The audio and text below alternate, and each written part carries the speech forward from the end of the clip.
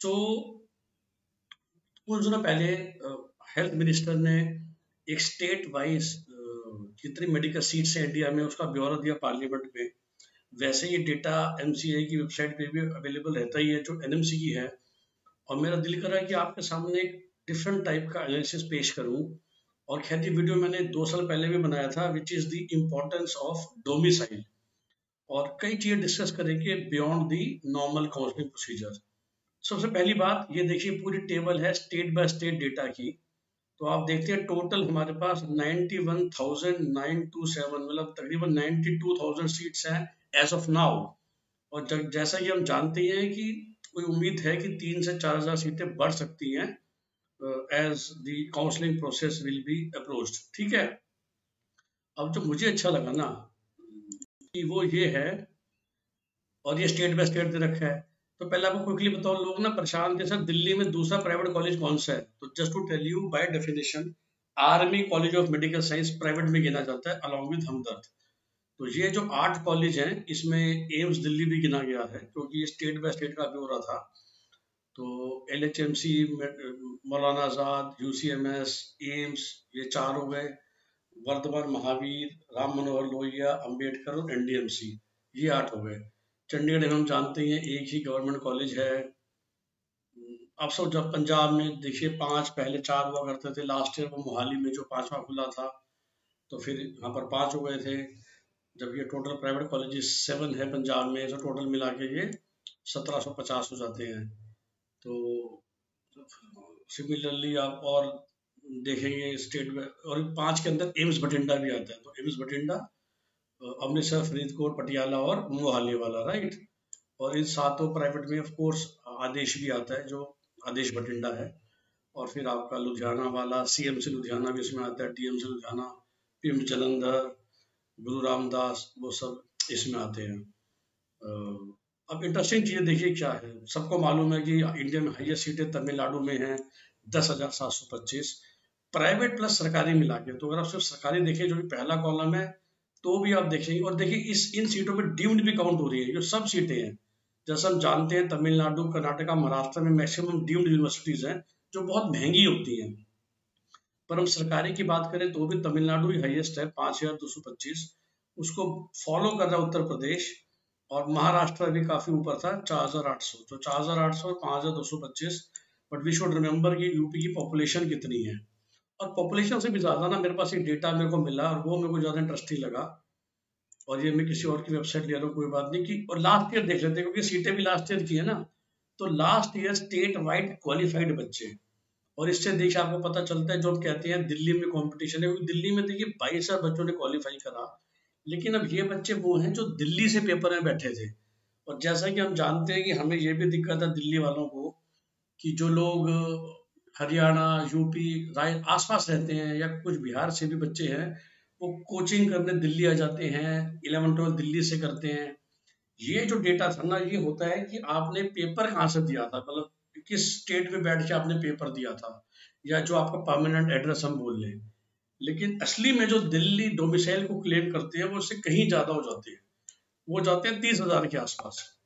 और यहीं पर आ जाते हैं कंपटीशन की तीस हज़ार काइंड ऑफ़ क्वालिफाइड बच्चों के लिए हमारे पास सीटें कितनी हैं? दिल्ली में सरकारी बारह सौ। और उसके मुकाबले आंध्रा में ठीक हमसे और देखिए इसमें एम्स भी है जो कि सेंट्रल है, पर चलो। और आंध्र प्रदेश में हो जाती है double which is twenty four eighty five जबकि आंध्र प्रदेश में जो क्वालिफाइड बच्चे हैं सिर्फ़ उनतालीस हज़ार है। तो ये कुछ चीज़ें हैं जिनसे आपको बिहार, देखिए क्यों स्ट्रगल करता है। वेरी हाई क्वालिफाइड आंध्रा से भी ज़्यादा क्वालिफाइड बच्चे बिहार के लेकिन सीटों की बात करेंगे, बिहार में सिर्फ़ पंद्रह सौ पंद्रह प्राइवेट गवर्नमेंट सीटें हैं। गवर्नमेंट सीटों के मामले में और क्वालिफाइड के मामले में हरियाणा भी काफ़ी पीछे है। हरियाणा में भी देखिए, बाईस हज़ार बच्चे क्वालिफाई करते हैं लास्ट ईयर लेकिन जो सीटें हैं वो सिर्फ़ सात सौ दस है।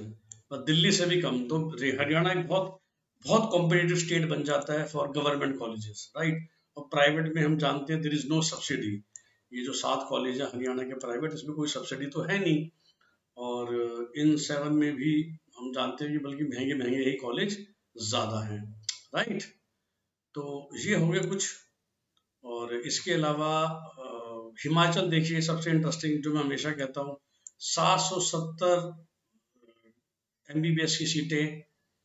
और आप इसको कंपेयर कीजिए क्वालिफाइड बच्चों से तो आपको पता चलेगा सिर्फ़ आठ हज़ार बच्चे मतलब आठ हज़ार बच्चों पे सात सौ सरकारी सीटें इसलिए मैं हमेशा कहता हूँ कि सबसे जो अच्छी लॉटरी है, वो हिमाचल का डोमिसाइल होना just to get a government seat Uttarakhand की भी बात करें तो देखिए, सात हज़ार बच्चे क्वालिफाई करते हैं, बहुत ज़्यादा नहीं, हिमाचल की तरह। और उत्तराखंड में भी ठीक ठाक से सरकारी कॉलेजेस हो जाता है तो एम्स को हम हटा भी दें तो भी काफ़ी हाई प्रपोर्शन है सरकारी सीटों का। और उसके मुकाबले, जैसा हमने डिस्कस किया कि जो स्ट्रगल कर रहे हैं जो हम जानते हैं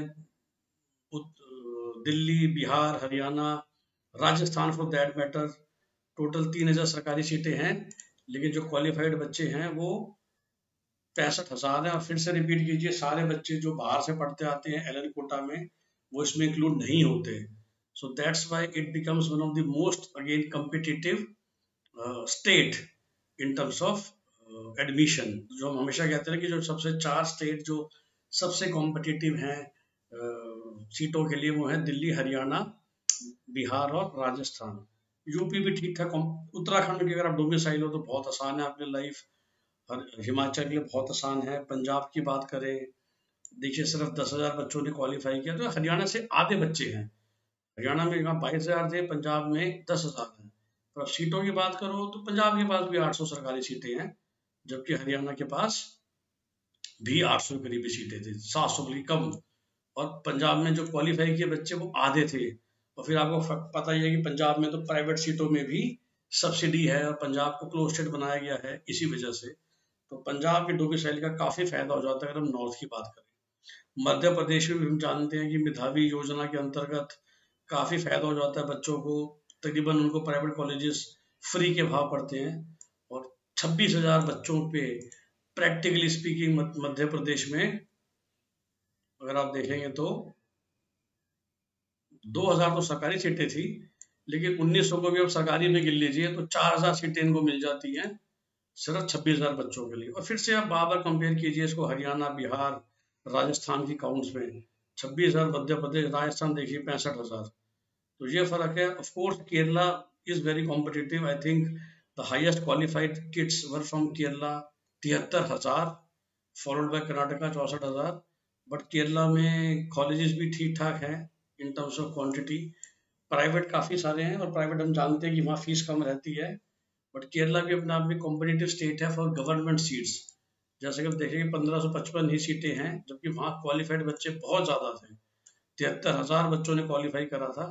From the state of Kerala Jharkhand one again देखिए दस हज़ार और अब झारखंड की सरकारी सीटें देखें तो भी छह सौ अस्सी। तो ये वही ये स्टेट्स के डोमिसाइल का जो एडवांटेज हो जाता है, जो मैं लोगों को हमेशा कहता हूँ, कि काफ़ी फ़ायदा हो जाता है कि आप कहाँ रहते हैं और उससे आपको कौन सी सीट मिलने वाली है, आपको काफ़ी फ़र्क और काफ़ी एडवांटेज मिल जाता है इस बात का।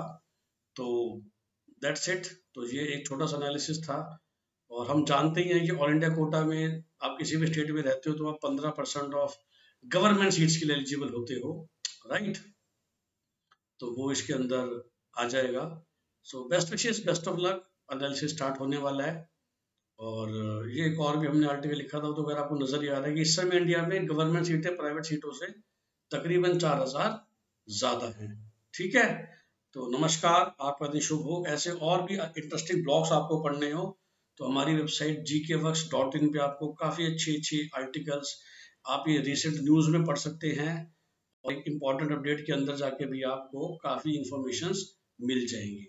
ठीक है? आपका दिन शुभ हो। नमस्कार।